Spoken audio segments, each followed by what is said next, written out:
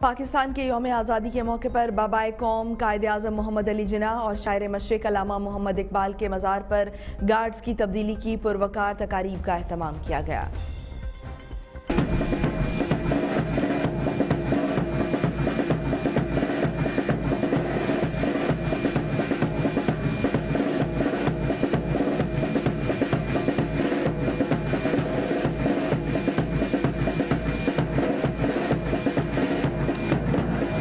پاکستان کے تہترویں یوم آزادی پر آج صبح سویرے کراچی میں بانی پاکستان، قائد اعظم محمد علی جناح کے مزار پر، جبکہ لاہور میں شاعر مشرق علامہ محمد اقبال کے مزار پر گارڈز کی تبدیلی کی پروکار تقریب منعقد ہوئی۔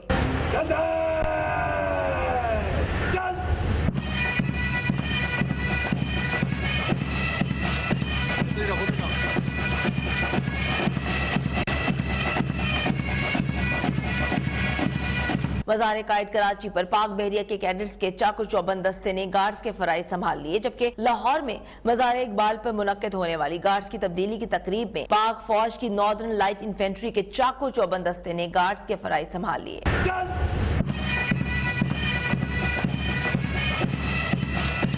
Tira,